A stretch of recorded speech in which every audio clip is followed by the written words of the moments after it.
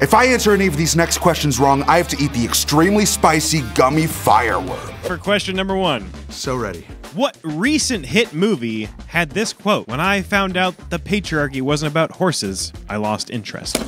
That was me. That is Ryan Gosling in Barbie. That is correct!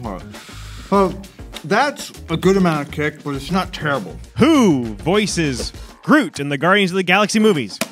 Vin Diesel. That is correct! Andy with a second correct answer. Gotta get that star power, baby. It's very spicy. What was the first feature length animated movie and the first Disney movie ever released? I know that one, Snow White. That's right! Wow! Jamie got Oh, one. he's angrily throwing it around. There we go. Then it's child's play. Really? No, that's actually it's like a immediate. What was Marilyn Monroe's real name? uh Norma Jean? That's correct! Yes! So hot.